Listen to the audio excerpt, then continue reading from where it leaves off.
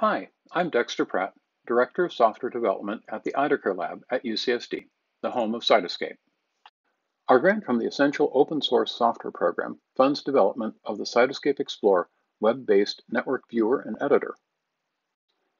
Cytoscape software for biological network analysis, visualization, and modeling is regularly used by tens of thousands of scientists.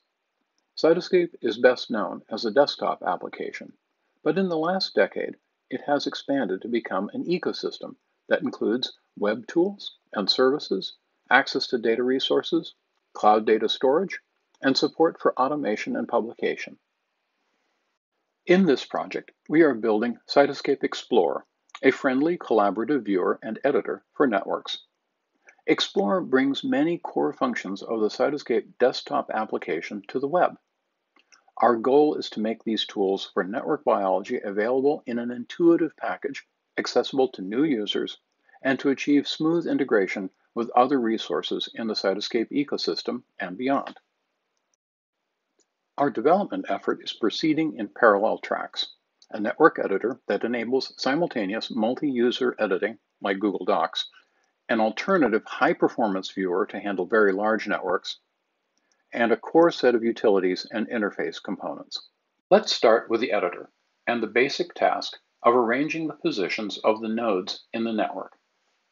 This network is uninformative because its structure has no relationship to this grid layout. The user selects the layout option from the tool menu. In this case, the underlying structure of the network is a tree, and so the hierarchical layout is the best option. The user can dynamically adjust the parameters of the layout such as direction and spacing. In the second example, a network with two highly connected hub nodes is laid out with a circular layout.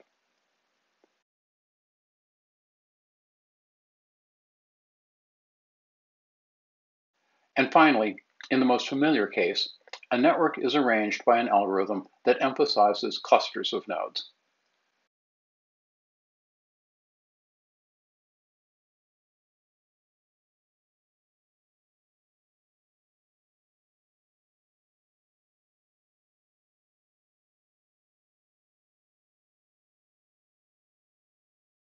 Networks can be assigned visual styles that associate numeric or categorical values to attributes such as node size, color, and shape, or the width of the edges.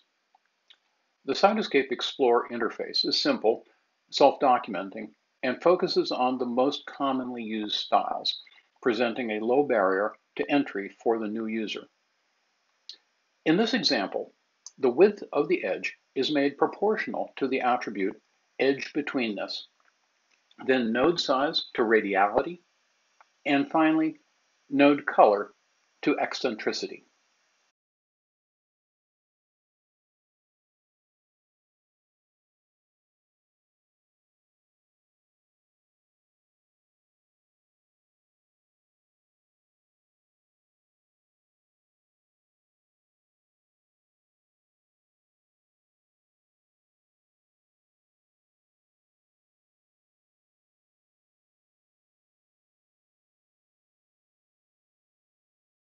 Users expect editing programs to autosave their work and ideally enable simultaneous editing by multiple users, such as with Google Docs.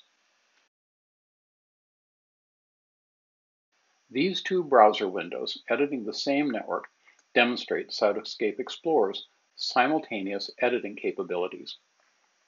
The second window echoes the first as nodes are added, connected with edges, and both assigned a visual style.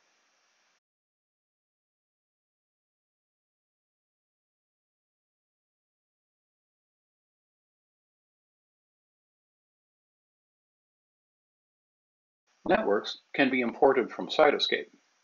In this example, the window on the left is the Cytoscape desktop application, showing a network with multiple visual styles. On the right, we select Import from Cytoscape to find the networks currently loaded in Cytoscape and opening a copy in Explorer.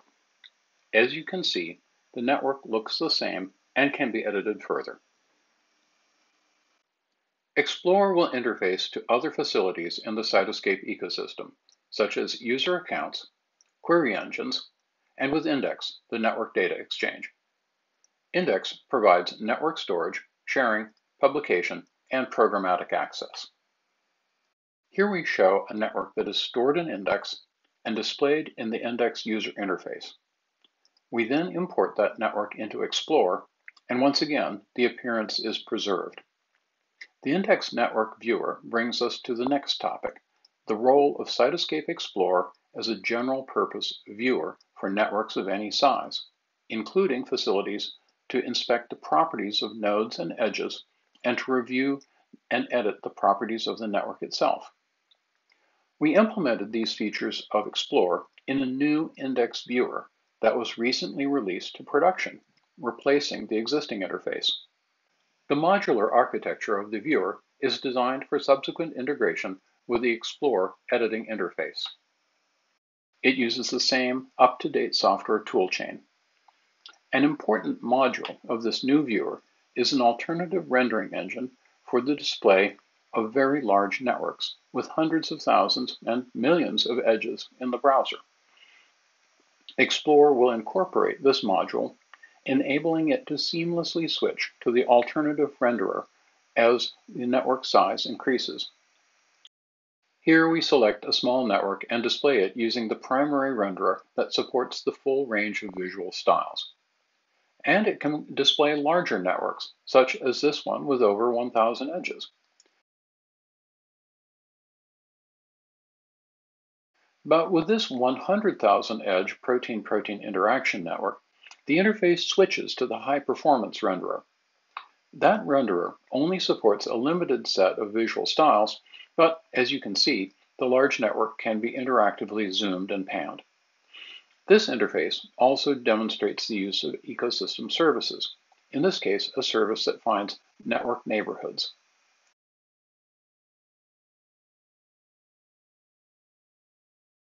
When the query result is returned, the interface again switches between the high-performance renderer and the primary renderer. The small query result is displayed using the primary renderer. Clicking an individual node or edge pops up a convenient quick view of its attributes. If multiple nodes and edges are selected, their data is displayed in tabular form. Finally, the attributes of the network itself are displayed, with special handling for important information such as the network description. Because Cytoscape Explorer will become our primary network display web application, it has driven the development of new standards, notably a portable graphics format. In the Cytoscape ecosystem, there are two systems for displaying networks with complex graphic styles, the Cytoscape Desktop and, on the web, the Cytoscape JS JavaScript library. As we have shown, Cytoscape Explorer is able to interface to both worlds.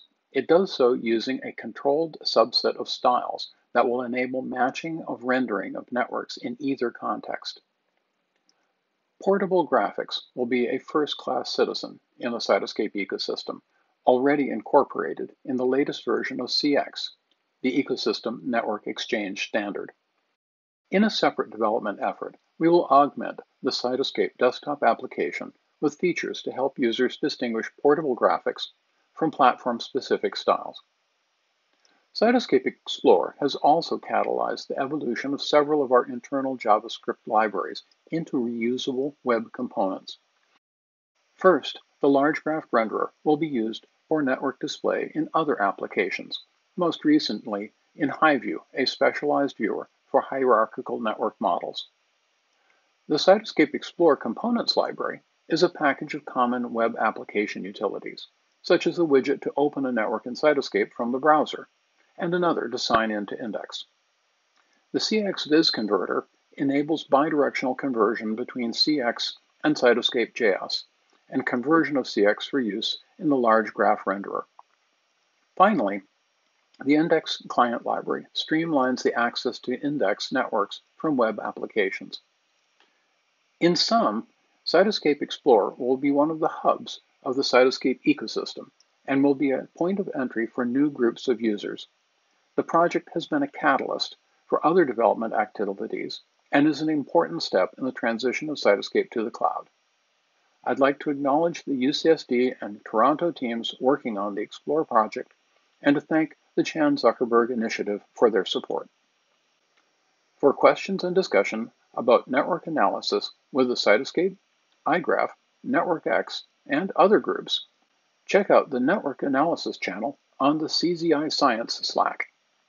And you can contact me at depratt at ucsd.edu. Thanks for listening.